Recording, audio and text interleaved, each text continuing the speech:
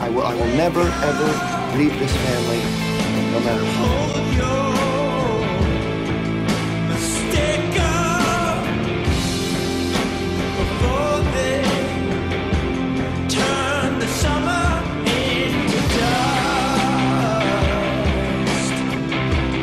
That's it. I'm done. I'm sick and tired of the greed and, and the selfishness and all the taking. Forget it. I got a son to think about.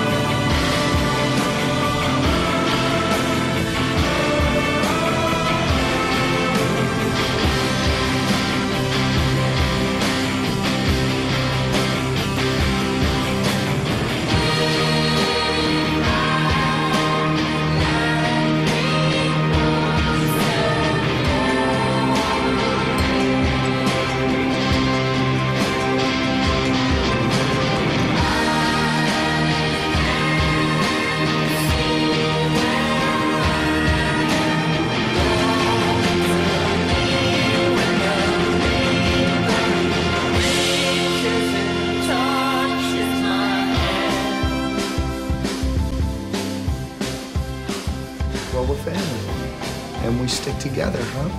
Hmm.